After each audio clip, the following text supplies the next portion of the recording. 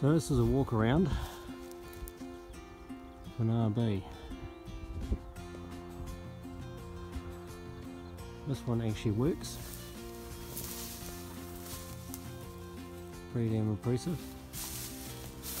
A view when we get up to the operator's cab.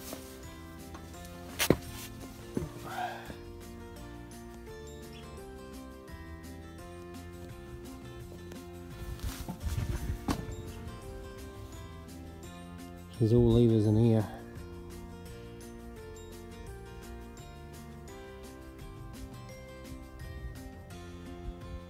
I imagine relatively noisy piece of equipment.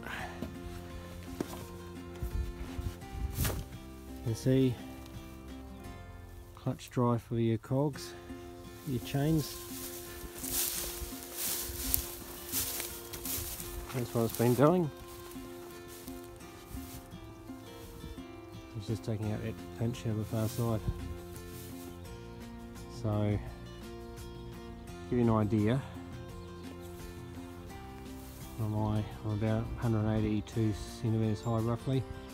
My shoulder comes up to about this piece here. So it gives you an idea of size.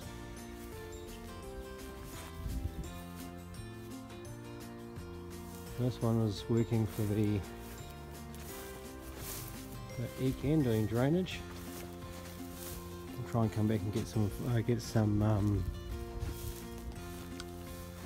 oh video of it working. It's all winch and clutch.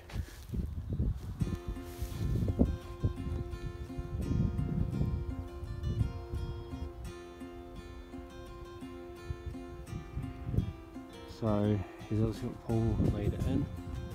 Maybe it looks like a clutch lead of some description. Pull pull lead. Rear pull lead. I've operated diggers for a long time but uh,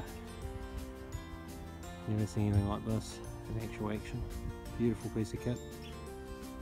Good to see it working after so many years. And still working, on might add. It hasn't, I don't think it's ever been retired. Not a lot of these floating around. To give you an idea, it is a big piece of equipment.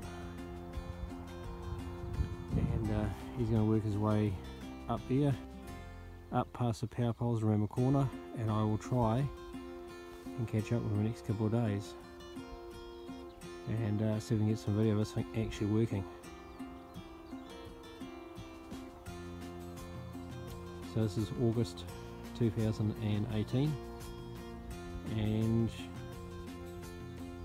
yeah it's working. This is just down from my home in um, Gebbies Pass down in Canterbury, New Zealand. Yeah, so it's, it's us.